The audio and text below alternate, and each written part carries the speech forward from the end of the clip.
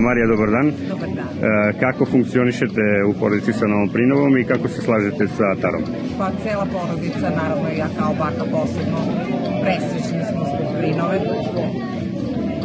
Evo sad ovo je poseban dan koji smo njemu posvetili, povodom jučerašnjeg krštenja.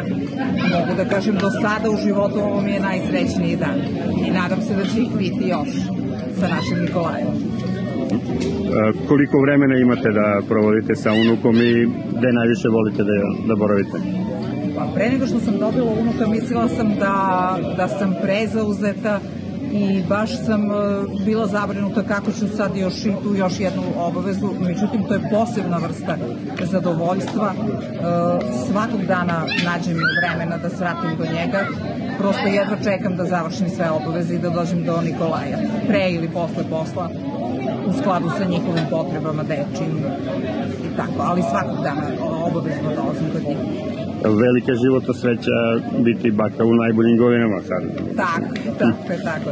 Tako je, svima to želim, stvarno to je prelep osjećaj, jedinstven. E, deca su stvarno nešto što oplemenjuje sve nas i što je suština našeg života. Proslava stvarno izgleda lepo, ko je, ko je glavni organizator bio? Stvarno za sve ovo što vidite, ovaj prelep ambijent je zaslužna moja snaja Tara.